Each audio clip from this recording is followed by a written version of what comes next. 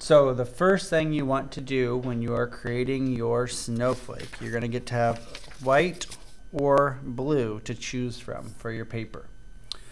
So when you are creating your snowflake, it is a square, so it doesn't matter which way your paper is. First thing you're going to do is fold it in half. Try and get it as nice and neat as you can and then we'll fold it in half one more time to make a square. So remember where, you'll want to remember where the middle of your snowflake is. So the middle of my snowflake is going to be right here on this corner. That's the corner that is the middle of my snowflake. So maybe if you want, you can kind of mark it so you remember where that middle is. The next thing we're going to do is we're going to take these two sides here. We're going to kind of do some folding. I'm going to start with the one on this side, on my right side. I'm just going to fold it so it's about in the middle here. So a little bit further than the middle. So you can see um, it's going a little bit further than the middle when I fold this in half. And this side is just going to come over and they're going to line up with this edge. So again, I'm going to take this corner, we're going to fold that piece of paper kind of like a ice cream cone here.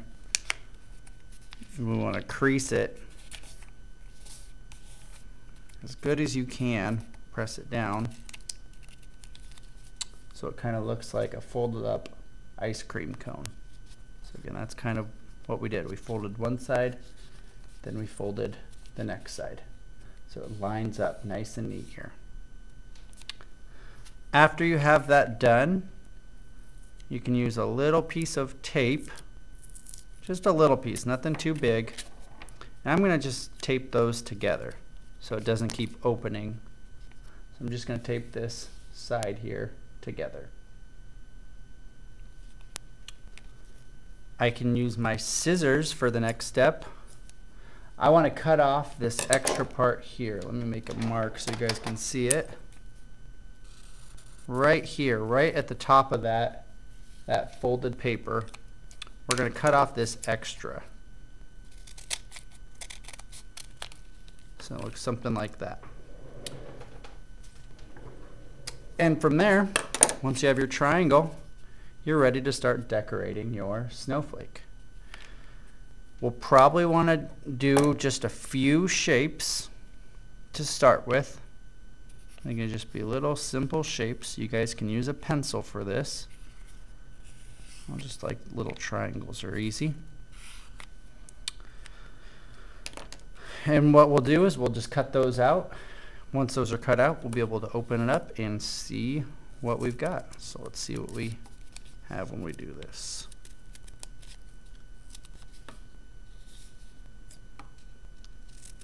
Really take your time.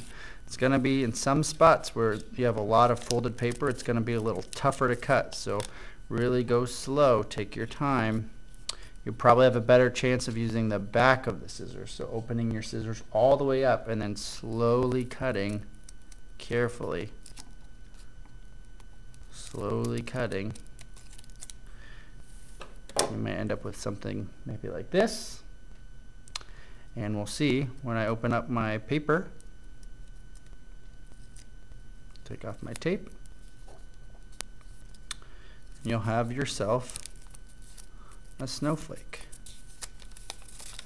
So doing different things, doing different things, like cutting different parts on the top of your paper, maybe even cutting parts at the tip of your paper.